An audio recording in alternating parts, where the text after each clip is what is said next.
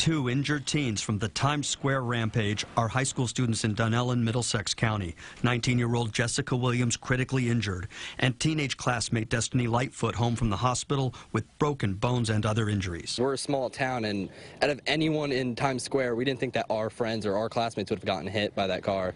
And we were all just like shocked. The two students were away from this high school and in Times Square because it was class skip day for seniors. We were told by the family of Lightfoot who lives on this Dunellen street that she is not ready to talk about it publicly. No comments from relatives of Williams, who suffered the far more serious injuries and just pulled through an operation that removed her spleen. I pray that she will, you know, be recover 100%. That's Joseph Denuzzo, Williams' boss at a pizza restaurant in Fairfield where she works part-time. You know, eventually she'll be okay. Many in this town where the tragedy hits home are puzzled by the words of suspect Richard Rojas in the New York Post. In the exclusive Rikers Island jailhouse interview, Rojas told the Post he has a gap in his memory. Quote, the last thing I remember is driving in my car, then I woke up in the precinct. I was terrified.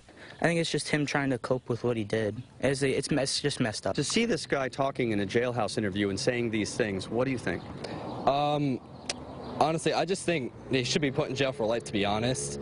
Rojas is charged with second degree murder, 20 counts of second degree attempted murder, and five counts of aggravated vehicular homicide. Rojas told the Post, I just want to apologize to all the victims' families.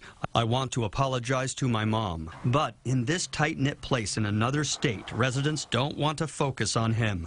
Not when two hometown students so desperately need support. In Dunellen, New Jersey, Dave Carlin, TV 1055. And if you'd like to help the victims, there are two separate GoFundMe